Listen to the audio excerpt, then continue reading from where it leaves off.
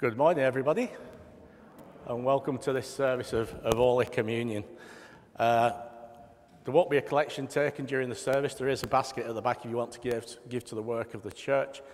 Uh, communion, I'll, I'll come round to you with communion, so all you need to do is lift your mask and pop the bread in. It'll be bread alone uh, during the, for the communion. Uh, everything else should be quite straightforward, I think, as we go along, hopefully. So let me pray for us as we begin. Loving Father God, we just thank you that we can gather together as your people here today. And Lord, we thank you for your goodness to us in so many ways. As we think of your love that knows no limits, to give your one and only Son, your beloved Son, so that we could be a forgiven people. Lord, we, we find that hard to grasp. And so, Lord, we want to praise you, we want to worship you, we want to know you better, and we want to be the people that you would have us be. And we ask this in the name of Jesus. Amen. Let's begin with these words Grace, mercy, and peace from God our Father and the Lord Jesus Christ be with you. Now we come to our time of confession, so let's just take a moment or two of quiet and think of those things we need to confess to the Lord. And we'll say these words together.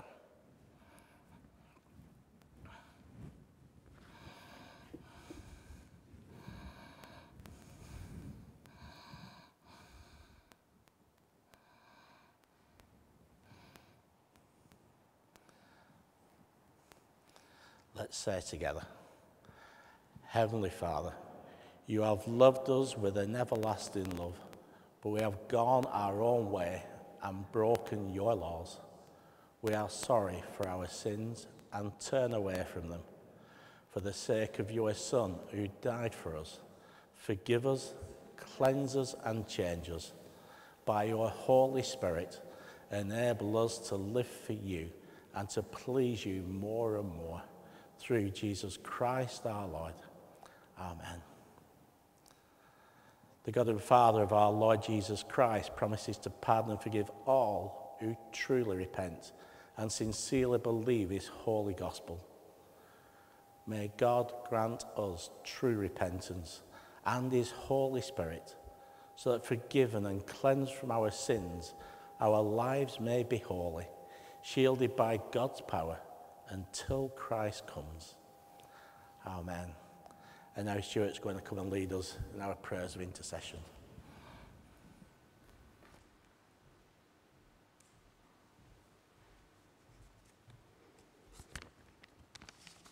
Let us pray. Corrie ten Boom said, We never know how God will answer our prayers, but we can expect that He will get us involved in His plan for the answer. If we are true intercessors, we must be ready to take part in God's work on behalf of the people for whom we pray. So, with these words in mind, let us come before our loving Father God in prayer now. Lord, in our changing and uncertain world, we thank you that you are the same yesterday, today, and forever, and your steadfast love never changes. And we want, first of all, to say thank you, Lord, for all the blessings we've received, for the love of our families and friends, for the rest of the night, and the promise of the day ahead. For the provision of food and drink, that we take for, uh, for granted so often. For the things that make our lives more comfortable, for health and vitality. For the things that we enjoy, leisure activities and hobbies, especially in these days of lockdown. We give you our grateful thanks, Lord. Amen. And in these times of uncertainty, we pray for those who find these times a struggle for those who face uncertainty with their jobs, for those who face redundancy or reduced hours, for those who are stretched financially because of the lockdown, for those whose lives are difficult to manage because of childcare or other family commitments. Lord God, we pray that you'll bring relief to the, all these who are struggling with life's hardships and trials. Grant them patience and forbearance. And we remember the words of the psalmist, Psalm 9, verse 12. God does not ignore the cries of the afflicted. And we pray for young people who face uncertainty due to the exam problems, those who did not get the grades that they anticipated, those whose results have been delayed, for those facing and finding alternative university places, those who have to resit their exams, or those who have to look for jobs. Lord, give them grace. Give them determination to work out their future hand, uh, plans, but and to put their hands into your hand. Guide each one. Bless their endeavours. In the name of him who loves us. Amen.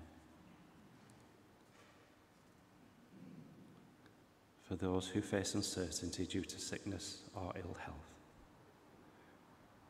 we ask for your grace to be upon them and that they may know your healing today.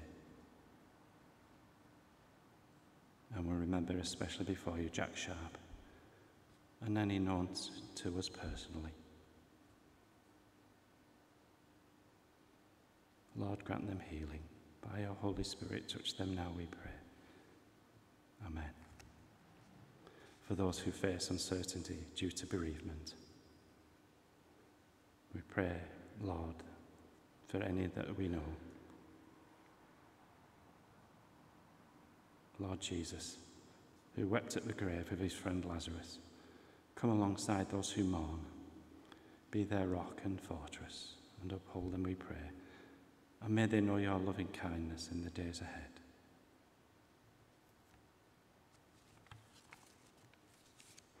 And we remember our missionary partners before you and the work they're committed to for Gemma and Andrew working with Wycliffe Bible translators, and for Mark and Helen at CMS. Again, as their work is affected by the coronavirus, Lord, we ask you to bless them, even in these times of trials. We thank you for their commitment and dedication in spreading the gospel across the world. Thank you for their hearts that are leaning towards you in that respect. Bless them, we pray. Amen. And we pray for researchers and medical workers that are searching for a COVID vaccine. COVID vaccine.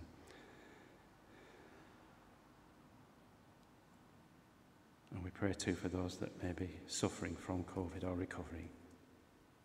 May they know that you are our loving Heavenly Father, that you are faithful and unchanging Help those who are working, Lord, to discover a, cure and a vaccine for the, this cruel disease, Lord. Uh, we pray that it will be brought about speedily, that many will be healed from that disease, Lord. Amen. And finally, for ourselves, Lord, help each one of us to turn to you and to know you as our rock and our fortress in these uncertain times as we listen to your holy word today, may we incline our hearts towards you. May we hear and understand and follow you in all our ways through all our days. Amen.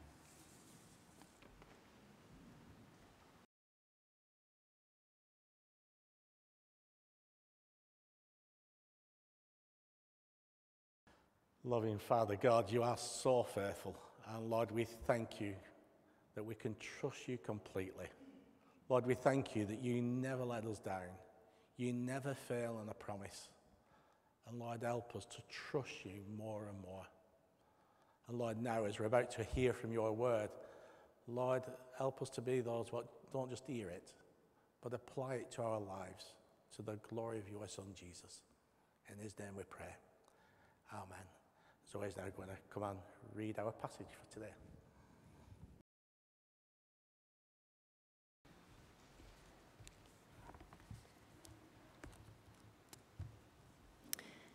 The reading today is taken from Joshua chapter 24, verses 1 to 33.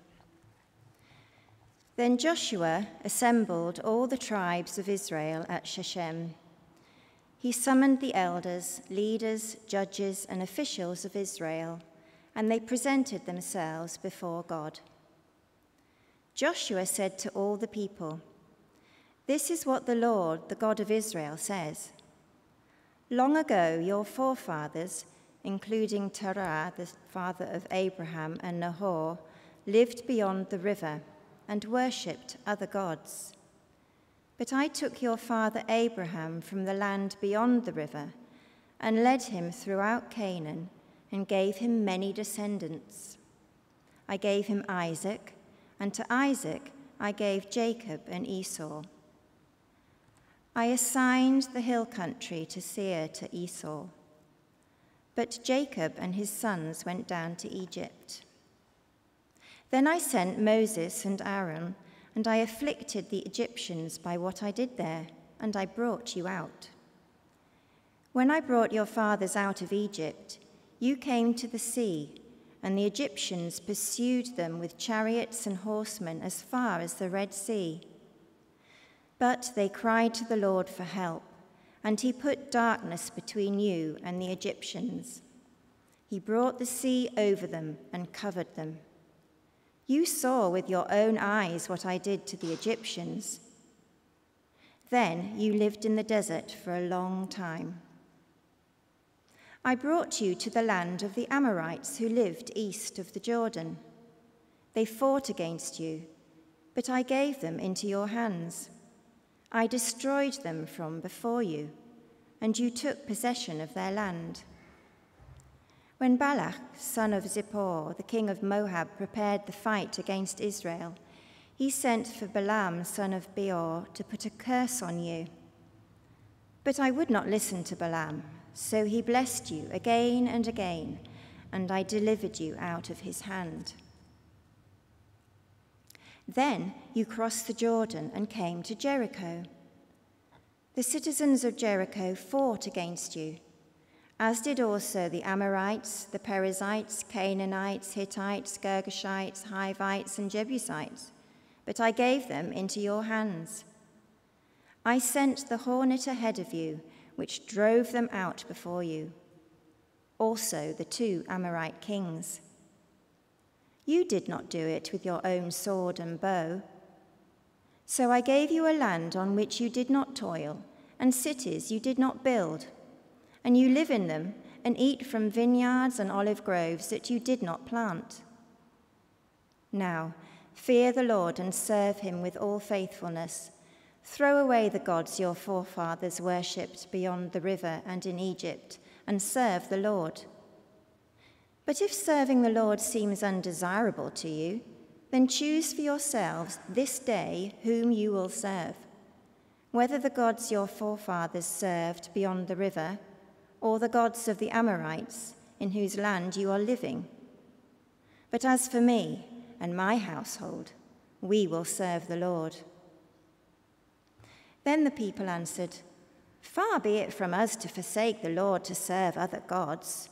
It was the Lord our God Himself who brought us and our fathers up out of Egypt, from that land of slavery, and performed those great signs before our eyes.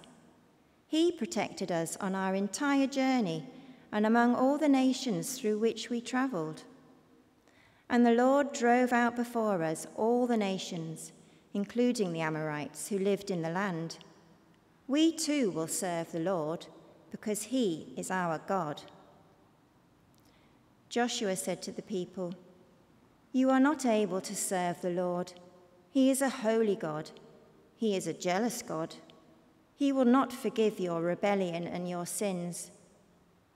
If you forsake the Lord and serve foreign gods, he will turn and bring disaster on you and make an end of you after he has been good to you.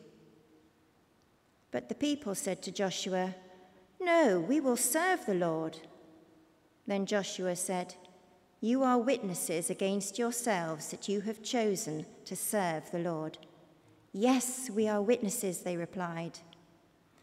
Now then, said Joshua, throw away the foreign gods that are among you and yield your hearts to the Lord, the God of Israel. And the people said to Joshua, We will serve the Lord our God and obey him. On that day, Joshua made a covenant for the people, and there at Shechem he drew up for them decrees and laws. And Joshua recorded these things in the book of the law of God.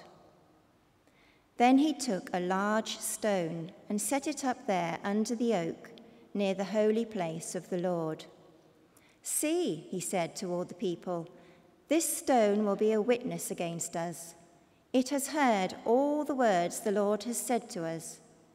It will be a witness against you if you are untrue to your God. Then Joshua sent the people away, each to his own inheritance. After these things, Joshua, son of Nun, the servant of the Lord, died at the age of a hundred and ten. And they buried him in the land of his inheritance, at Timnath Serah in the hill country of Ephraim, north of Mount Gaash. Israel served the Lord throughout the lifetime of Joshua and of the elders who outlived him and who had experienced everything the Lord had done for Israel. And Joseph, Joseph's bones, which the Israelites had brought up from Egypt, were buried at Shechem in the tract of land that Jacob bought for a hundred pieces of silver from the sons of Hamor, the father of Shechem. This became the inheritance of Joseph's descendants. And Eleazar, son of Aaron, died and was buried at Gibeah, which had been allotted to his son Phinehas, in the hill country of Ephraim. This is the word of the Lord. Thanks be to God.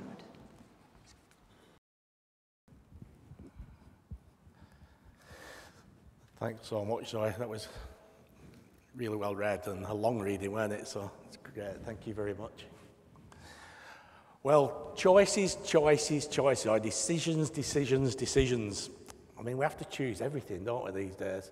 You know, like what TV channel we're going to watch or what mobile phone provider, that can be a bit of a dodgy one, or just what foods we eat. We choose our attitudes, our friends, and, and how we're going to live our lives.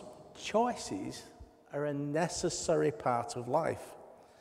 And people who have difficulty with choices will have difficulty with life itself.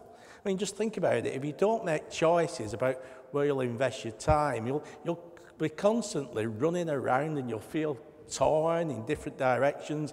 You'll be overwhelmed and you'll be simply achieving nothing at all. And if you don't choose what you're passionate about in your life, you'll tend to stand for nothing and fall for anything. And if you don't choose to be financially responsible, you'll always feel poor and never know financial freedom. If you don't choose to make good decisions about your health, you'll probably be prone to illness and you'll never feel energized and alive. Choices are important. And some choices are made by default. I mean, when we refuse to make a choice, we have, in essence, made a choice but the best choices are the ones that we make consciously and deliberately. In the final chapter of the book of Joshua, we find Joshua at the end of his life. Chapter 24 records Joshua's final words to the people of Israel. This faithful servant of God took the people on a stroll down memory lane as he reminded them of all the things God had done for his people, Israel. Then Joshua challenged the people to be faithful in response to God's mercy and grace.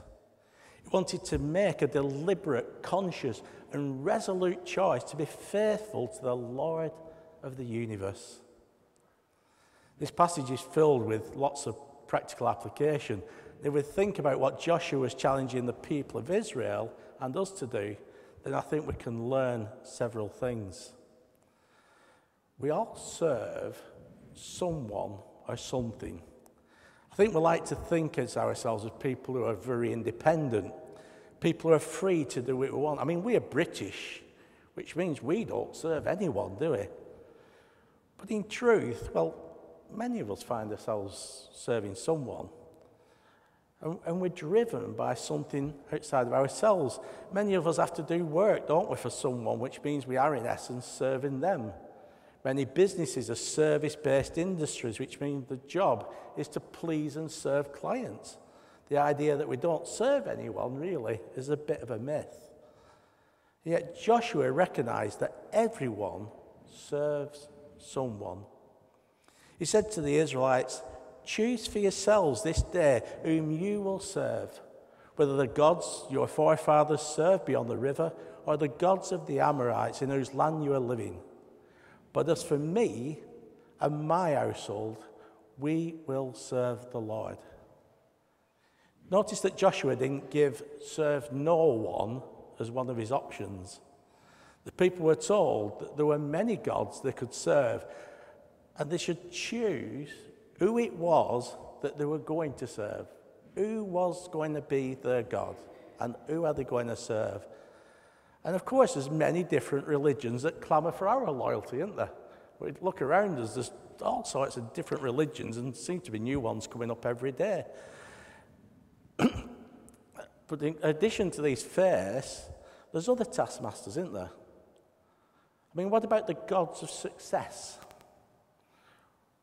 We work, don't we, to be successful, whatever it is that's our goal. Then there's the gods of materialism. We're enslaved to getting stuff. We live to buy more and more things or the latest gadgets. Probably things that we'll consume or throw away or sell at a car boot sale not long after, but we buy these things. What about the gods of academia? I mean, we serve the latest fads, studies, or theories.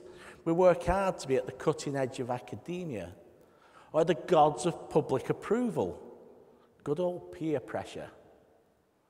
We want other people to like us, don't we? And these followers do what they have to do. Some will even sell their soul to the devil in order to gain the approval of other people. Some children just live for the approval of the parents. In exam week, that's one of those weeks where that's put to the test, isn't it? On the other hand, many parents these days seem to live to gain the approval of their children and give them pretty much anything they ask for. Then there's things like our dress, our spending, our language, our friends. They're all chosen to get the right kind of approval that we crave. And when all this is said and done, our ultimate service either is to the world or to the Lord, to God or to Satan. It's good to take some time to just think, just challenge ourselves, and ask that honest question Who or what are or am I serving? What is it that occupies our greatest attention? What causes us to become the most animated and passionate in our conversations? The answers to those questions may point us in the direction of the gods that are calling most forcefully for our allegiance. But then, why, why should we choose to serve the Lord?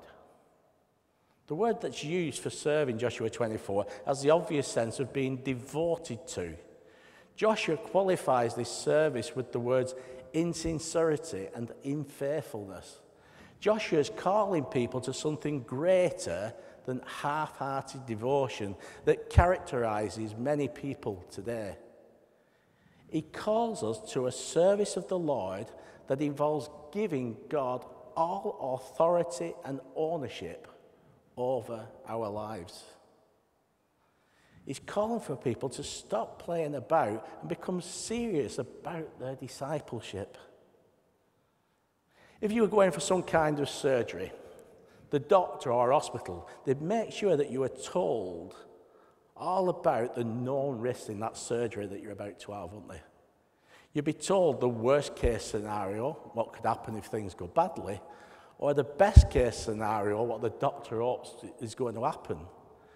And you might be told that a certain procedure is going to have you in hospital for a week or so, then after the pain's gone, you'll be, you'll be great.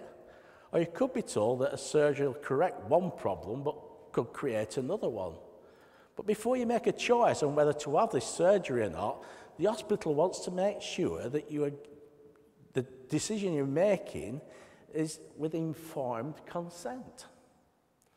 Joshua wanted the people of Israel to commit to the Lord with informed consent. He reminded the people of their history.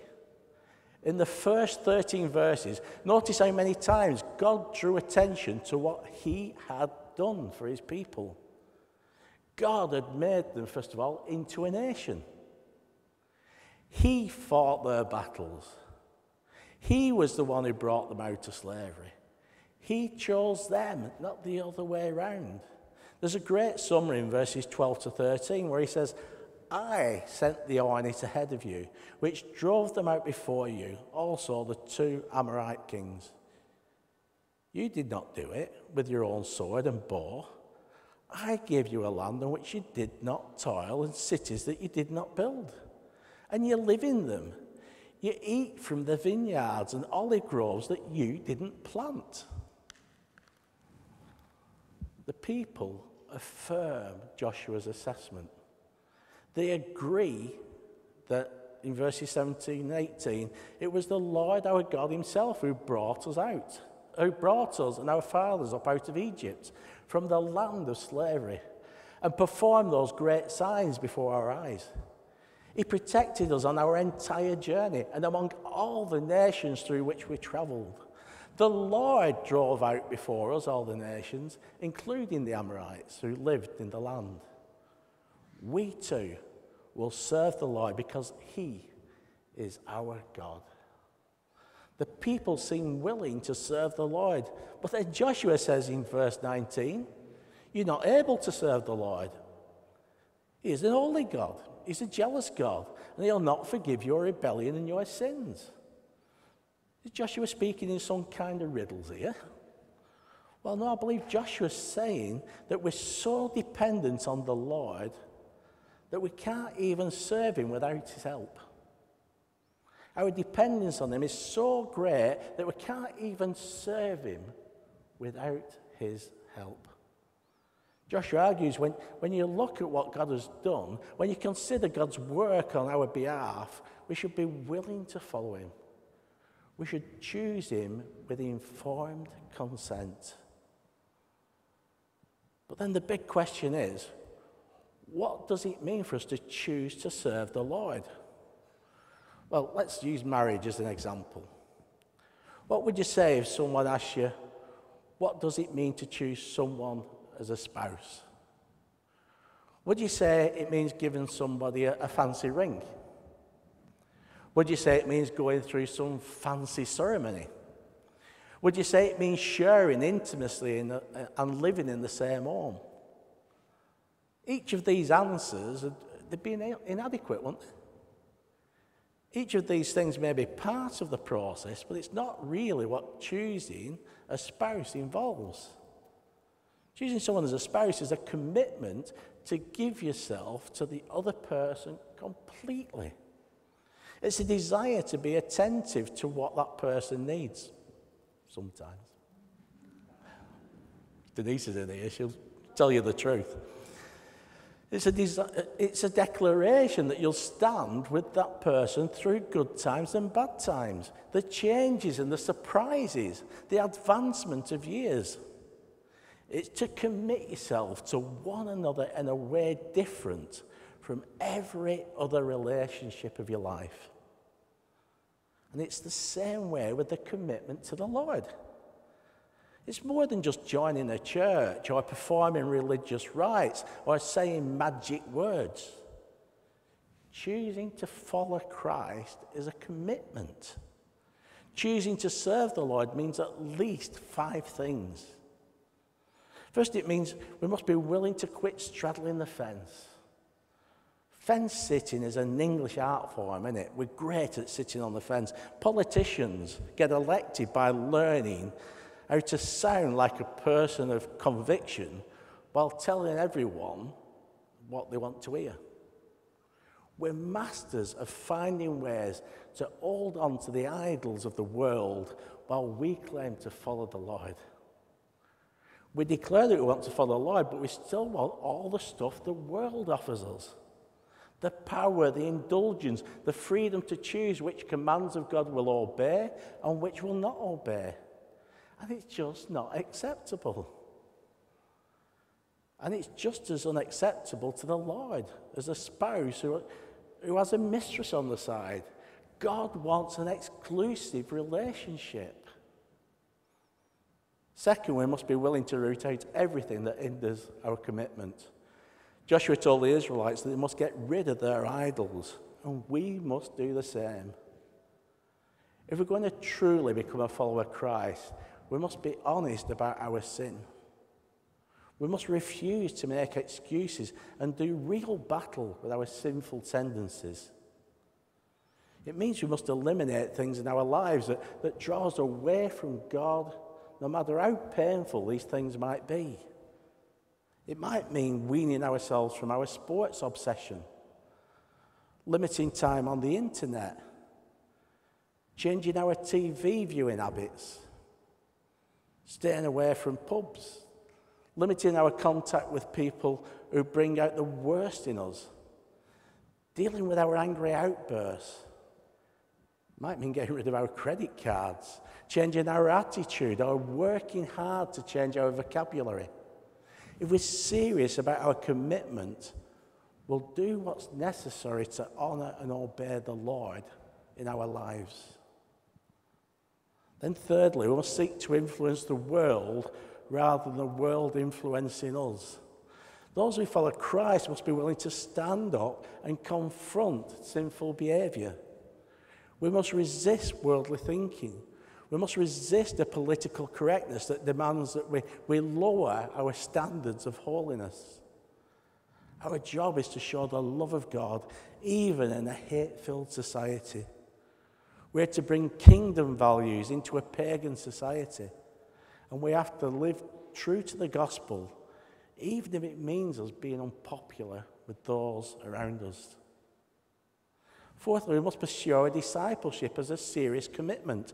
Joshua warned the people that if they profess faith, yet continue to play with the idols of the world, they would face God's judgment. Our Lord reserves some of his fiercest comments for the hypocrites or the pretenders. Remember in Matthew 23 how Jesus pronounced the wars on those who made great boasts about the allegiance to the Lord but didn't follow through. He firmly, uh, firmly condemned their hypocrisy. Somewhere along the line, good intentions and pious words must translate into action. I remember those words from the book of Revelation where the Lord told the church of Laodicea that they were lukewarm in their commitment. And as a result, he was going to spit them out of his mouth. In other words, they made him sick. The Lord told the church that he preferred that they're either hot or cold. If they were hot or fervent in faith, then they'd have the kind of devotion that God desired. But if they were cold, at least no one would be confused where they stood. It'd be obvious that they didn't follow the Lord.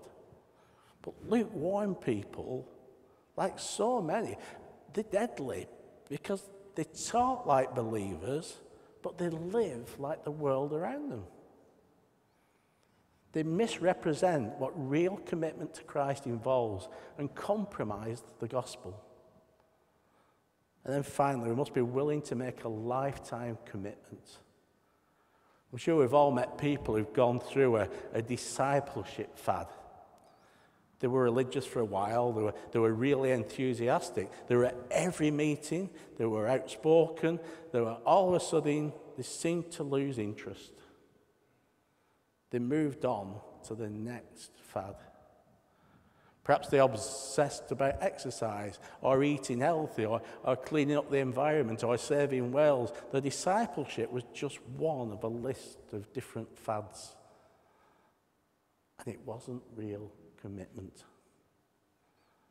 The kind of discipleship God desires is one that's total. Jesus warned us that no one who puts his hand to the plough and looks back is fit for the kingdom of God in Luke 9. Make no mistake, if you truly decide to follow Jesus, then there's no turning back. It means you're truly going to bet your life on him. It means you'll stand or fall with him. A person who enlists for the military makes a commitment, don't they? They give themselves to the service for a period of time. It might be five years, ten years. They sign up for so long. And during that time, they endure the training, don't they, first of all, which is pretty intense. And then they go where they're sent to. And they do what they're told to do. But once that commitment's made, you don't pick and choose where you're going, what you're going to do. You live under a new authority. The only difference for a child of God is that our enlistment is indefinite. We're in His service for life or forever. We're choosing to submit to God's authority. We're agreeing to train hard and do what God commands us to do. We serve Him and He doesn't serve us. Renowned evangelist D.L. Moody was transformed by a preacher who said, The world has yet to see what God can do through one person who is completely committed to Him. Moody set out to be that one person who was committed, and God used him gratefully, uh, greatly. But what would happen if you were that one person who was totally committed to the Lord? What could God do in and through you or me? Joshua's question is one that we have to address. Who will you serve? Will you take a stand for Christ? Or will you continue to sit on the fence? Will you go all in with the Lord? Or will you continue to just play at faith? I believe it's a true statement. We're as close to God as we want to be. I urge you, I urge you to make a decision today. Choose to have a close relationship with God. Be intentional about, about who you're going to follow in your life. Don't play games. And choose to seriously follow the one who has given his life for you. For some of you, choosing Christ will mean entering into a new relationship with God through Jesus. For you, it may be time to say to the Lord, Yes, I do believe that Jesus died on the cross as a sufficient payment for my rebellion. I do believe that his resurrection proves that Jesus was who he said he was. And I'm willing to put my confidence for eternity into Christ give up on all hope of being good enough to earn heaven on my own. But instead, I take the right standing with God that is offered through Jesus Christ. I receive the gift of eternal life and I welcome the transformation of your spirit. Take this opportunity to receive the new life that God offers in Christ. Start that journey right now. Others of you have said such words. You concluded that Jesus is the only way to forgiveness and eternal life. However, we need to choose to become serious about our commitment to Christ. We need to resolve to stop playing at faith and start getting serious. We need to move beyond an almost Christian and start following Him fully. Coaches tell the players, don't they, in various sports all the time, that they need to give 100%. Some say 110. I don't know how they work that one out. They want the players to practice regularly, diligently. They want them to learn the tactics, the moves, practice the basics, and do the work that needs to be done on and off the field in preparation for the game the athletes that's not serious may keep up for a while, but eventually they'll be surpassed by those who've worked seriously. The Lord wants us to make a serious effort in our commitment to Him. Are we ready to get serious in following Christ? Will we take a hard look at our lives and root out all those things that stand between us and serious discipleship? We need to stop making excuses, confront the things that are dragging us down, abandon those reasons we give for not doing what's right. We need to get off the couch and get into the game. Will you make time to build your relationship with Him? Will you give priority time to worship, Bible study, prayer, and seeking God's will for your life? Make an appointment with God right now. Write it in your calendar or your diary. Be as serious about this daily and weekly appointment as you are other appointments in your calendar. Resolve to be a good steward of what God's given you. Stop looking at what you have as yours to use as, as you want. Instead, start seeing it as what you have as is, to be used as He sees fit.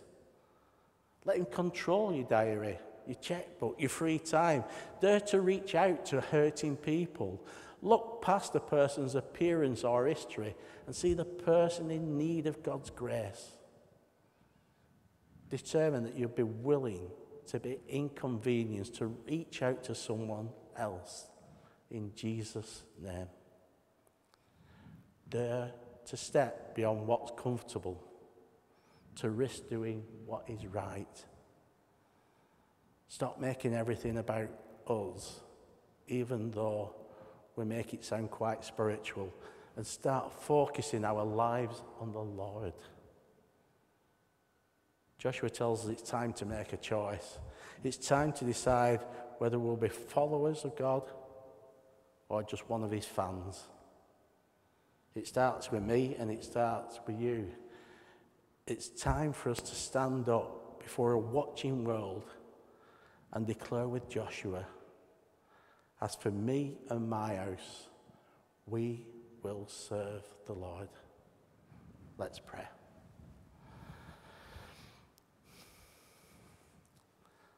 Loving Father God, we, we just thank you again for these corrections, these, but these great truths as well.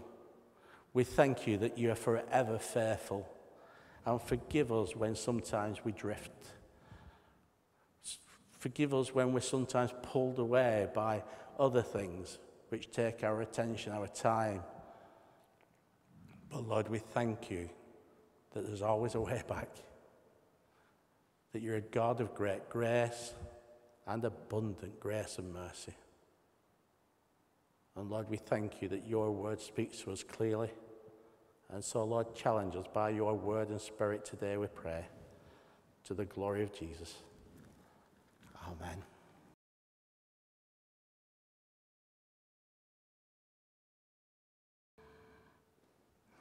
The peace of the Lord be always with you. Although we can't shake hands, I know we can still share the peace with one another. Let's look around and share the peace, and then we'll come around the Lord's table together.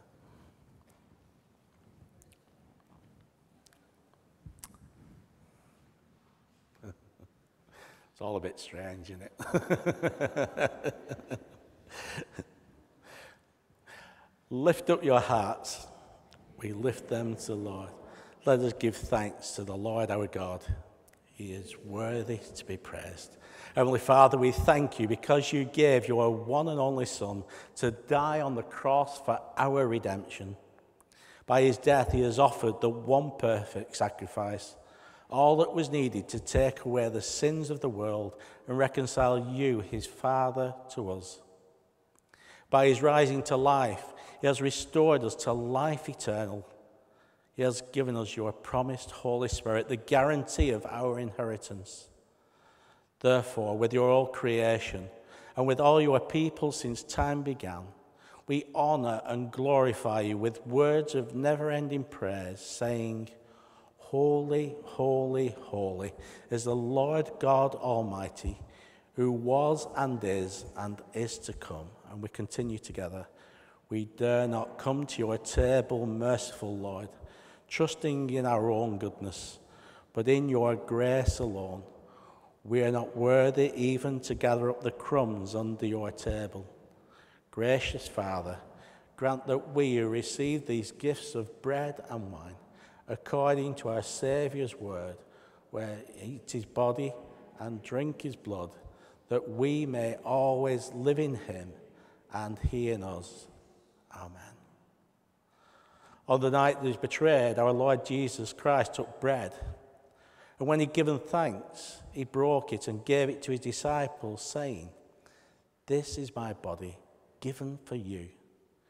Do this in remembrance of me.